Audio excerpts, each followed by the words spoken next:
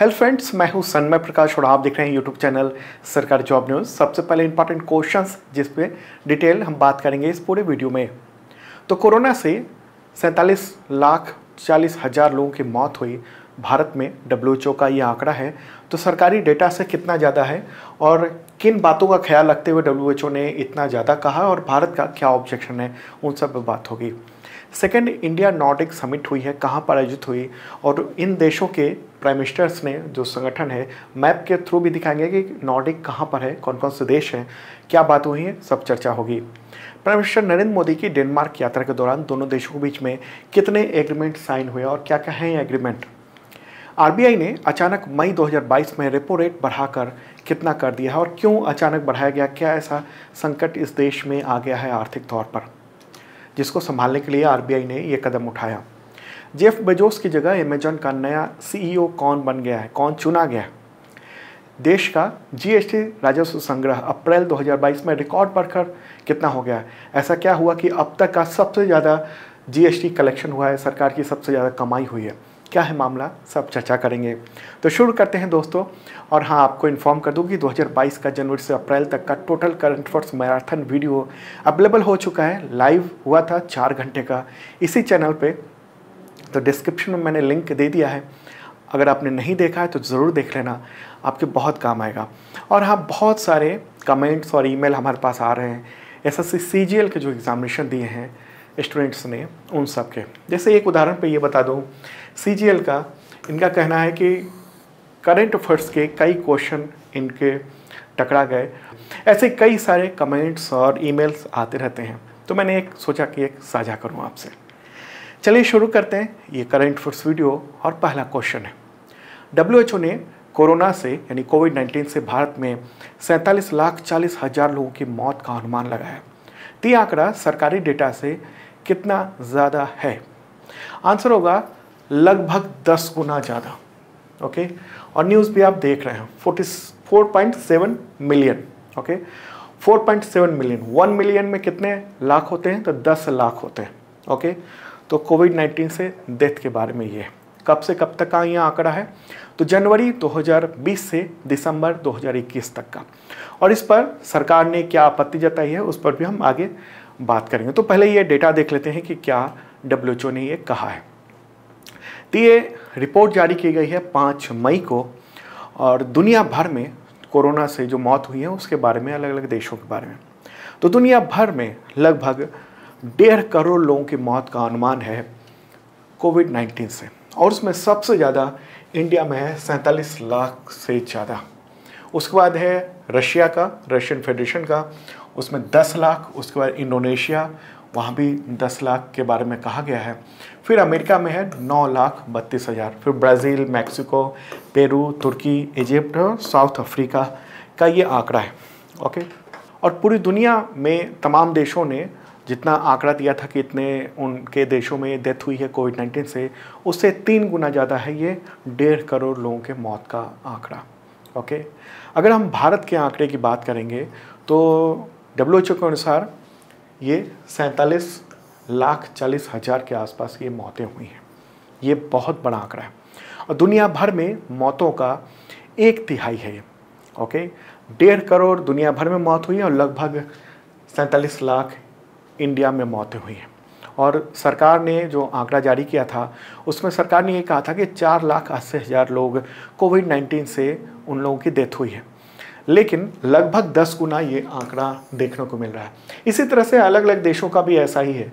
उन देशों ने जितना कहा, जैसे रशिया ने कहा कि हमारे यहाँ तीन लाख लोगों की मौत हुई है तो वहाँ दस लाख से ज़्यादा लोगों की मौत हुई थी। मतलब सरकारी आंकड़े से काफ़ी ज़्यादा। ओके। अब बात है कि डब्ल्यूएचओ ने किस आधार पर ये आंकड़ा निकाला है? हालाँकि सरकार ने कहा कि ये गलत आंकड़ा है। डब्ल्यू ने इसको दो चीज़ें जोड़ी हैं, एक प्रत्यक्ष मौत और एक अप्रत्यक्ष मौत। अप्रत्यक्ष मौत मतलब एक तो डायरेक्टली मौत और एक इनडायरेक्टली मौत हुई है, जिसकी वजह है कोविड नाइन्टीन ओके प्रत्यक्ष मौत मतलब कोविड नाइन्टीन हुआ, किसी को उसकी डेथ हो गई ओके अप्रत्यक्ष मौत का मतलब ये हुआ कि कोविड नाइन्टीन हुआ वो ठीक हुआ, लेकिन उसके बाद फिर उसे कोविड नाइन्टीन से जुड़ी हुई जो कॉम्प्लिकेशंस हैं, वो आई और उससे डेथ हो गई। जैसे ब्लैक फंगस जो कोविड 19 के बाद एक महामारी के रूप में इंडिया में ख़ास तौर पे देखने को मिला था। क्यों हुआ था? क्योंकि जो ऑक्सीजन सिलेंडर जो इस्तेमाल हुआ, उसकी सफ़ाई नहीं हुई, उसके पानी को उसमें एक जो फ़िल्टर होता है, पानी रखा जाता है, वो सही पानी नहीं रखा गया तो ब्लैक फंगस लोगों में हुआ। उससे बहुत सारी मौत हुई। तो उसको भी डब्ल्यूएचओ ने जोड़ा है कोविड नाइन्टीन में। कहा कि ये भी कोविड नाइन्टीन की वजह से ही हुआ। इसके अलावा बहुत सारी दिक्कतें हुई हैं। ब्रेन में किसी को दिक्कत हुई, उससे मौत हो गई, किसी को हार्ट अटैक आया ठीक उसी के बाद या उसी दौरान। उस सबको तो इस तरह के अप्रत्यक्ष जो मौतें हैं, उसको भी डब्ल्यूएचओ ने जोड़ लिया है कोविड नाइन्टीन के आंकड़े में इसको शामिल किया और ये बातें डब्ल्यू ने साफ़ तौर पर कही है। उसका कहना है कि आप कैसे मना कर सकते हैं कि कोविड नाइन्टीन से अस्पताल से जैसे ही मरीज़ आया और उसकी किसी वजह से डेथ हो गई तो मूल वजह कोविड नाइन्टीन है, ऐसा डब्ल्यू का कहना है। डब्ल्यू की रिपोर्ट के मुताबिक ये जो महामारी थी कोविड नाइन्टीन की, उससे चीन, ऑस्ट्रेलिया, जापान, नॉर्वे, वहाँ पर अप्रत्यक्ष रूप से मौतें कम हुई। चीन में अभी भी ज़ीरो कोविड पॉलिसी अपनाई जा रही है। यहाँ तक कि वहाँ जो एशियन गेम्स होने वाला था, इसी साल उसको भी स्थगित कर दिया गया है। तो ये सब चीज़ें वहाँ पर की गई, ओके?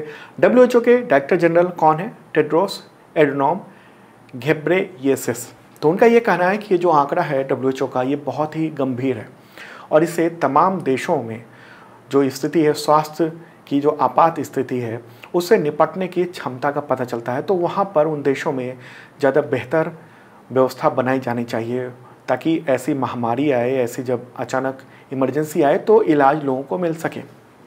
अच्छा भारत ने डब्ल्यू की इस रिपोर्ट को नकार दिया है। ऑफिशियल रूप से भारत ने ये कहा है कि जो महामारी है, उससे संबंधित जो मृत्यु दर का अनुमान डब्ल्यूएचओ ने लगाया, उसके लिए जो मैथमेटिकल जो मॉडल पेश किए गए, मॉडल जो इस्तेमाल किया गया, उस पर कड़ी आपत्ति जताई है भारत ने।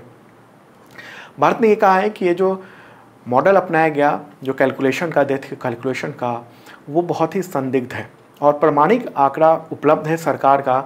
उसके मुताबिक कितने लोगों की मौत हुई है? प्रमाणिक आंकड़े के मुताबिक चार लाख अस्सी हज़ार लोगों की मौत हुई है। और सरकार का कहना है कि इतनी ही मौतें हुई हैं कोविड नाइन्टीन से। ओके? चलिए आगे बढ़ते हैं, अगला क्वेश्चन लेते हैं। सेकेंड इंडिया नॉर्डिक समिट कहाँ पर आयोजित की गई है? आंसर होगा कोपेनहेगन कोपेनहेगन कहाँ है? डेनमार्क की राजधानी है। तो सवाल है कि ये समिट कब आयोजित की गई है? इंडिया नॉर्डिक समिट तो 4 मई 2022 को आयोजित की गई। कोपेनहेगन यानी डेनमार्क की राजधानी में है। और इस समिट को होस्ट किसने किया? तो डेनमार्क की पीएम मेट फेडरिक्सन ने किया। ये है मेट फेडरिक्सन ओके समिट में कई और प्राइम मिनिस्टर भी शामिल हुए और इस समिट में दोनों तरफ़ के यानी इंडिया नॉर्डिक देशों के संबंध को रिव्यू किया गया। पहली जो मीटिंग हुई थी समिट हुई थी शिखर वार्ता हुई थी वो 2018 में हुई थी। ओके समिट में जो शामिल देश हैं उसका मैप भी आपको दिखाते हैं लेकिन उससे पहले एक बार परिचय करवा दूँ कौन कौन से आ, ये फोटोग्राफ जो देख रहे हैं इनमें कौन कौन से हैं? तो नॉर्डिक देशों में चार तो वुमेन प्राइम मिनिस्टर हैं और एक मेल प्राइम मिनिस्टर हैं। ओके तो प्राइम मिनिस्टर नरेंद्र मोदी तो हैं भारत के। और इनके बगल में ये हैं डेनमार्क की प्राइम मिनिस्टर मेट फ्रेडरिक्सन ये हैं नॉर्वे के प्राइम मिनिस्टर क्या नाम है इनका? जोनास गहर स्टोर और ये है आइसलैंड की प्राइम मिनिस्टर क्या नाम है इनका? Katrin Jakobsdottir okay और प्राइम मिनिस्टर नरेंद्र मोदी के इस तरफ़ हैं, ये कौन है? स्वीडन की प्राइम मिनिस्टर हैं मैकडे लीना एंडरसन और आखिरी में आप देख रहे हैं उनको फिनलैंड की प्राइम मिनिस्टर हैं सना मारिन ओके तो डेनमार्क स्वीडन आइसलैंड और फिनलैंड उसकी प्राइम मिनिस्टर महिलाएँ हैं। और ये सब जो देश है वो सबसे खुशहाल देश माना जाता है ओके तो अब देख लेते हैं कि नॉर्डिक कंट्री का मैप ओके तो वर्ल्ड मैप में ये रहा प्यारा भारत और यहाँ से चलते हैं यूरोपीय देश की ओर और, वो भी उत्तरी छोर की ओर ओके और आप देख रहे हैं उत्तरी ध्रुव है इस तरफ़ और ये आर्कटिक ओशन है। और इसमें ये रहा नॉर्वे, स्वीडन, फिनलैंड, डेनमार्क और आइसलैंड। ये तो चार प्रमुख देश हो गए। इसके अलावा भी और द्वीप हैं जो कि नॉर्डिक के मेंबर हैं। कौन सा? तो जैसे फेरो द्वीप यहाँ पर मौजूद है, फेरो द्वीप। इसके अलावा ग्रीनलैंड, ये वाला, ओके? और एक ऑलैंड है, वो भी एक द्वीप है। तो ये सब मिलकर नॉर्डिक समूह कहलाते हैं। तो इसी के साथ इंडिया की ये समिट हुई है, उसमें प्राइम मिनिस्टर नरेंद्र मोदी शामिल हुए। ओके क्या क्या बातें हुई? तो कोविड 19 के बाद जो आर्थिक सुधार है climate change sustainable development innovation digitization green and clean growth energy green energy इन सब पर चर्चा हुई है, बातचीत हुई है। ओके और दोनों तरफ़ इंडिया ने कोशिश ये की है कि उससे व्यापार और बेहतर हो सके। ओके वर्ष 2020-21 में, यानी 2021 के बीच में, इंडिया और नॉर्डिक देशों के बीच में पाँच बिलियन डॉलर का ट्रेड रहा है, व्यापार हुआ है, ओके? और इन सब देशों ने ये कहा है कि हम इंडिया का जो सागर माला प्रोजेक्ट है, उसमें सपोर्ट करेंगे। चलिए आगे बढ़ते हैं, अगला क्वेश्चन लेते हैं। प्राइम मिनिस्टर नरेंद्र मोदी की डेनमार्क यात्रा के दौरान दोनों देशों के बीच में कितने एग्रीमेंट साइन हुए हैं? आंसर होगा टोटल सात। सात एग्रीमेंट साइन हुए हैं और दो डिक्लेरेशन हुआ है। ओके? हैं वैसे नौ, लेकिन अगर सिर्फ़ एग्रीमेंट की बात करेंगे तो वह हैं सात। तो प्राइम मिनिस्टर नरेंद्र मोदी और डेनमार्क की प्राइम मिनिस्टर मेट फेडरिक्सन ये फोटोग्राफ देख रहे हैं। बाकी ये वहाँ के अधिकारी हैं और मंत्री वगैरह हैं। तो तीन मई को डेनमार्क की राजधानी कोपेनहेगन में द्विपक्षीय वार्ता हुई। बाई लेटरल वार्ता हुई है और सात एग्रीमेंट साइन किए गए हैं। और प्राइम मिनिस्टर नरेंद्र मोदी का स्वागत डेनमार्क की क्वीन है, वहाँ पर कॉन्स्टिट्यूशनल मोनार्की है डेनमार्क में। ओके डेनमार्क का मैप आपने देखा ही इससे पहले के क्वेश्चन में। तो डेनमार्क की क्वीन है मार्गरेट सेकेंड। ये रही डेनमार्क की क्वीन, और ये है प्राइम मिनिस्टर और बाकी उस राजतंत्र के बाकी सदस्य हैं। Okay prime minister Narendra Modi तो हैं ही। तो क्या क्या एग्रीमेंट हुए हैं, वो भी हम देख लेते हैं। जैसे पहला जो एग्रीमेंट है डिक्लेरेशन ऑफ़ इंटेंट यानी D O I on migration and mobility okay एक दूसरे के देश के लोग आ जा सकेंगे आसानी से, ये तय हुआ है। सेकेंड क्या है? लेटर ऑफ़ इंटेंट हुआ है, यानी एल ओ एल तो on the establishment of a centre of excellence on green shipping यानी भारत का जो शिपिंग है खासतौर पर ग्रीन शिपिंग और जल मार्ग है उन सब का डेनमार्क और, और इंडिया जो है उसके शिपिंग एरिया को उन सब के बीच में फाइनेंशियली बिज़नेस इन सबको बेहतर करेगा। तीसरा है कल्चरल एक्सचेंज प्रोग्राम इसमें क्या है? तो इसमें भारत और डेनमार्क के बीच में ये तय हुआ है कि 2022 से 26 तक हम कल्चरल एक दूसरे के डेलीगेशन भेजेंगे और एक्सचेंज प्रोग्राम चलाएँगे। अगला चौथा क्या है? तो लेटर ऑफ़ इंटेंट उसके बीच में हुआ है कि मिनिस्ट्री ऑफ़ जल शक्ति और ministry of environment of Denmark दोनों के बीच में ये तय हुआ है कि हम जो जल शक्ति से रिलेटेड जो भी चीज़ें हैं, वो हम एक दूसरे को सपोर्ट करेंगे। पांचवा है एमओयू है। MOU on cooperation in the field of skill development vocational education and entrepreneurship. Okay तो मतलब ये हुआ कि स्किल डेवलपमेंट वोकेशनल एजुकेशन और एंटरप्रेन्योरशिप में एक दूसरे को मदद करेंगे। और छठा है joint declaration of intent on cooperation in the field of animal husbandry and dairying तो डेयरी और एनिमल हस्बेंड्री, यानी पशुपालन के क्षेत्र में दोनों देश एक दूसरे को मदद करेंगे। सातवां है letter of intent between invest India and technical universities of Denmark मतलब दोनों जो हैं, वो कोलेब्रेशन करेंगे। जो भी टेक्निकल इंस्टीट्यूट हैं, उन सब में इंडिया और डेनमार्क, उन सब के बीच में। ओके तो ये सब एग्रीमेंट हुए हैं और इंपॉर्टेंट बात है एग्जामिनेशन के लिए। ठीक है? तो डेनमार्क की बात हो रही है, राजधानी। कई बार चर्चा हो गई इस वीडियो में। कोपेन हैगन क्वीन कौन है? मार्गरेट सेकंड ओके अब प्राइम मिनिस्टर कौन है? मेट फ्रेडरिक्सन मुझे लगता है नाम याद हो गया होगा आपको।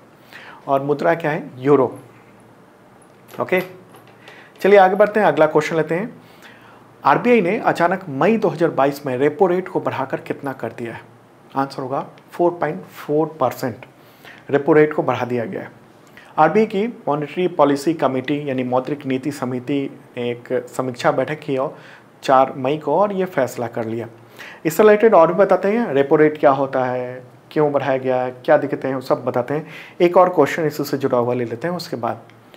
आरबीआई ने मई 2022 में कितने बेसिस पॉइंट की बढ़ोतरी करके रेपो रेट 4.4 परसेंट कर दिया है। इसका आंसर बताते हैं आगे। उससे पहले इन्फॉर्म कर दूँ कि अप्रैल तक का total current funds PDF available हो चुका है। डिस्क्रिप्शन में चेक कर सकते हैं। और आप मेंबरशिप ले सकते हैं। वन ईयर का मेंबरशिप है करंट फंड्स को लेकर। इसके थ्रू आपको मिलता है करंट फंड्स का PDF every week every month tri monthly half yearly और एक साल का भी। पिछले भी पीडीएफ आप ले सकते हैं। वीकली मॉक टेस्ट होता है एवरी संडे को, और इस संडे को भी होना है। Exam based monthly test series भी आयोजित किया जाता है तो आप पार्टिसिपेट कर सकते हैं। और ये दोनों जो टेस्ट सीरीज़ है, वो कभी भी दे सकते हैं। आप पिछले भी अवेलेबल हैं, वो सब में पार्टिसिपेट कर सकते हैं। और भी कई फ़ायदे हैं तो डिस्क्रिप्शन चेक कर सकते हैं आप।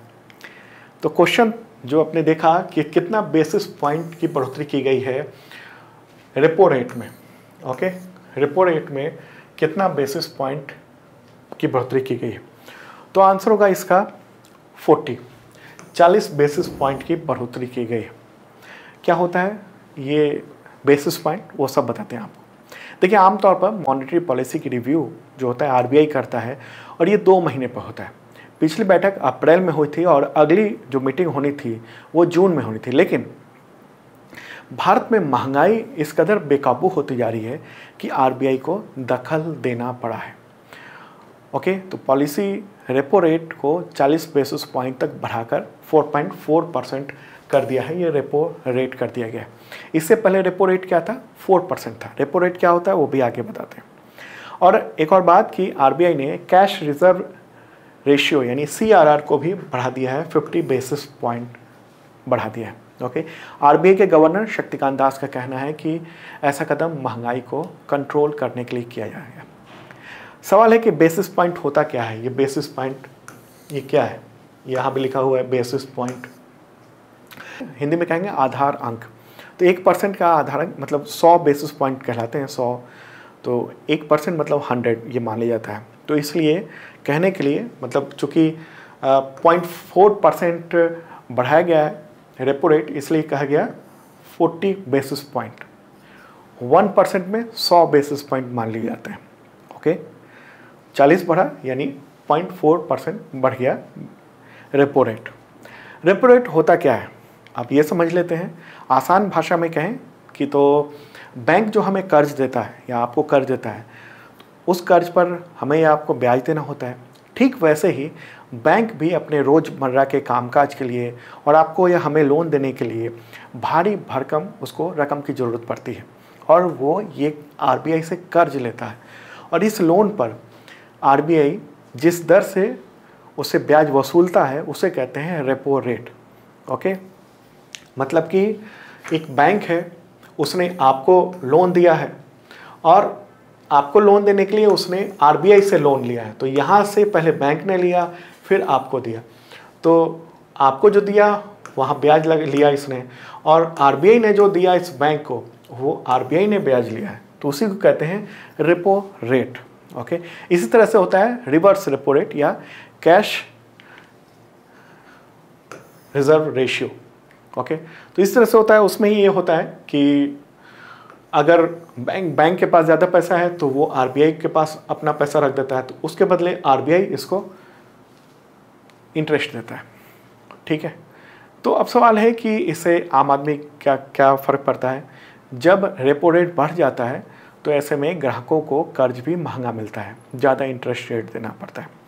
अब सवाल है कि रेपो रेट का महँगाई के बढ़ने या घटने से क्या मतलब है? तो देखिए, देश में महँगाई को कम करने की जो प्राथमिक ज़िम्मेदारी है, वो रिज़र्व बैंक ऑफ़ इंडिया के पास है, उसी के पास है ओके सेकेंडरी ज़िम्मेदारी है गवर्नमेंट के पास। तो सबसे पहले कोशिश करता है RBI okay RBI repo rate में, यानी वो रेपो रेट के ज़रिए क्या करता है कि मार्केट से जो नगदी है यानी लिक्विडिटी है उसको कम करता है। अगर जैसे ही ये रेपो रेट बढ़ गया ओके वैसे ही क्या हुआ कि तमाम जो भी आ, लोन है उन सब के ब्याज बढ़ गए। तो ऐसे में पब्लिक लोन कम लेगी ऐसा माना जाता है। और फिर बैंक क्या करेंगे? चूँकि कैश रिज़र्व रेशियो बढ़ गया है तो इसलिए बैंक क्या करेंगे, अपना जो रकम है, वो ज़्यादा ब्याज के लिए वो आरबीआई के पास जमा कर देंगे तो मार्केट में रुपए की कमी हो जाएगी, यानी जो एक्स्ट्रा ज़रूरत से ज़्यादा नकदी है, वो कम हो जाएगा। और आपको पता होगा कि अगर मार्केट में ज़्यादा रुपया रहता है तो उससे महँगाई बढ़ती है, और रुपए को कम कर दिया जाता है तो उससे महँगाई कम हो जाती है ओके महँगाई बढ़ने के कई सारी वजह हैं, जैसे रूस और यूक्रेन के बीच में युद्ध युद्ध चल रहा है, वॉर हो रहा है, उसकी वजह से महँगाई बहुत तेज़ी से बढ़ी है। वह यह है कि जो धातु, क्रूड ऑयल गैस, इन सब की कीमतें बहुत ज़्यादा बढ़ गई हैं और इससे सीधा रिश्ता आम खपत का है।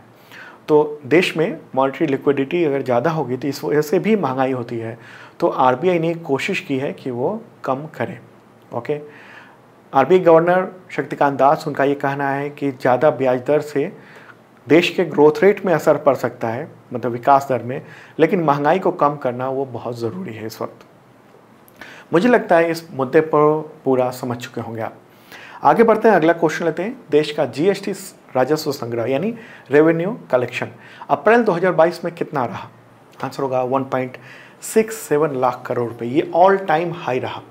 मतलब अब तक इतना, इतनी रकम, यानी एक lakh sixty seven thousand crore रुपए ये कलेक्शन कभी नहीं हुआ था जीएसटी के तौर पर।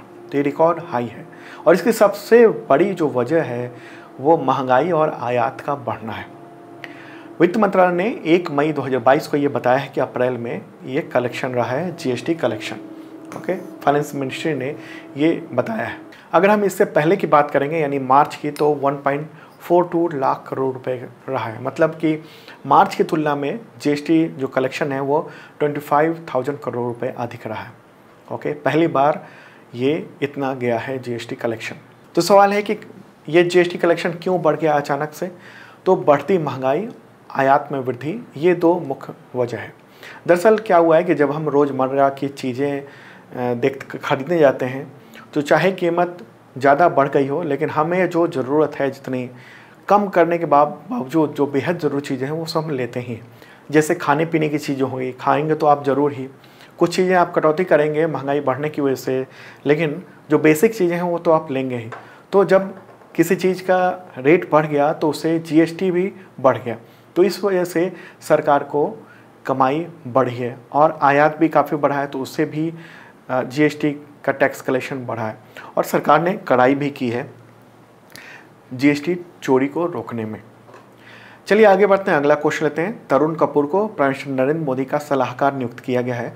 तो इससे पहले वो किस मंत्रालय के सचिव के पद पर थे? मतलब रिटायरमेंट के वक्त किस पद पर थे? तो आंसर होगा पेट्रोलियम और प्राकृतिक गैस मंत्रालय के सेक्रेटरी के तौर पर वो काम कर रहे थे इससे पहले। तो इसी महीने उनको प्राइम मिनिस्टर नरेंद्र मोदी का सलाहकार नियुक्त किया गया है, दो वर्षों के लिए। हिमाचल प्रदेश कैडर के आईएएस अधिकारी हैं वो। ओके, और न्यूज़ ये रहा, फोटोग्राफ ये देख रहे हैं आप। चलिए आगे बढ़ते हैं, अगला क्वेश्चन, किस राज्य ने मुख्यमंत्री मितान योजना शुरू की है? आंसर होगा छत्तीसगढ़। ओके, मितान का अर्थ होता है मित्र यानी दोस्त। तो इस योजना के तहत छत्तीसगढ़ के निवासी अपने घर पर लगभग 100 सार्वजनिक सेवाओं का लाभ उठा सकते हैं। यानी होम डिलीवरी होगी, जो सार्वजनिक सेवाएँ हैं उस पर, उसको लेकर। और इसको अभी करीब 14 नगर निगम में पायलट प्रोजेक्ट के तौर पर यह शुरू किया गया। तो छत्तीसगढ़ के मैप का मैप यहाँ रहा, ये है भारत में। छत्तीसगढ़ मुख्यमंत्री कौन है? भूपेश बघेल। गवर्नर अनुसुईया उइके। अगला क्वेश्चन लेते हैं। जेफ बेजोस की जगह अमेजन का सीईओ e कौन चुना गया है? आंसर होगा N D J C okay photograph ये रहा। ये चुने गए हैं और अमेजन के बोर्ड ऑफ़ डायरेक्टर की मीटिंग हुई अभी हाल ही में और इनको सीईओ e चुन लिया गया है नया। आधिकारिक तौर पर ये पाँच जुलाई से अमेजन के सीईओ बन जाएँगे। अभी तक जेफ बेजोस थे, वो सीईओ तो जेफ बेजोस अब अमेजन के जो बोर्ड है, उसके अध्यक्ष बनेंगे और सीईओ का काम ये देखेंगे। ओके, अमेजन की स्थापना कब हुई थी? पाँच जुलाई उन्नीस सौ चौरानवे को। मुख्यालय कहाँ है? सीएटल, वाशिंगटन, अमेरिका में। अगला क्वेश्चन लेते हैं। अंतर्राष्ट्रीय अग्नि शामक दिवस, ये कब मनाया जाता है? आंसर होगा, चार मई को आयोजित किया जाता है। ओके फायर फाइटर्स हैं, उनको सम्मान देने के लिए ये दिवस आयोजित किया जाता है। तो दोस्तों, ये था टोटल करंट फर्ड्स और आप मेंबरशिप भी ले सकते हैं, सरकारी जॉब न्यूज़ का, और ऐप भी अवेलेबल है। आप गूगल प्ले स्टोर पर जाइए, सरकारी जॉब न्यूज़ सर्च करेंगे और आपको ऐप मिल जाएगा। इससे करंट अफेयर्स की तैयारी खासतौर पे आप बेहतरीन कर सकते हैं।